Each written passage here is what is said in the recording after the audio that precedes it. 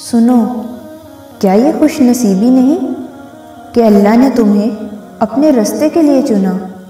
तुम्हें उन तमाम रास्तों से अलग कर दिया, जो रास्ता तुम्हें हलाकत की तरफ़ ले जाता था।